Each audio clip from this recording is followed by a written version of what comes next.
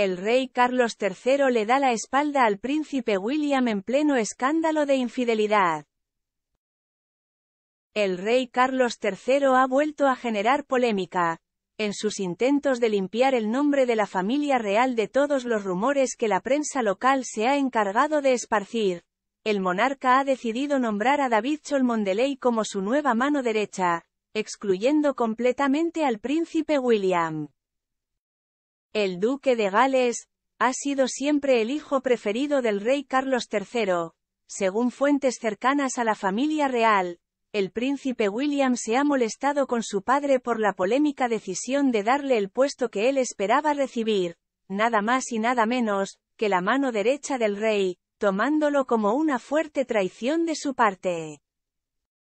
Lugar que fue concebido al noble David Cholmondeley. El príncipe no esperaba esta decisión de su padre, puesto que siempre ha sido el quien ha estado a su lado, apoyándolo con las obligaciones reales. Además, los expertos de la realeza han asegurado que esta decisión de incorporar a David al Palacio de Buckingham fue un grave error por parte del cabecilla de la monarquía británica, ya que anteriormente se habría hecho viral el rumor de que el príncipe William habría tenido una aventura romántica con Rose Hambury.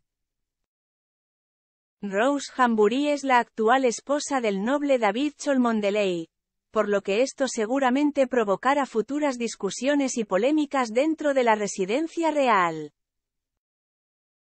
Medios locales aseguran que el rey Carlos III tomó esta decisión para mejorar sus relaciones con la familia del Lord, que se habrían deteriorado por las polémicas ocurridas en el año 2019.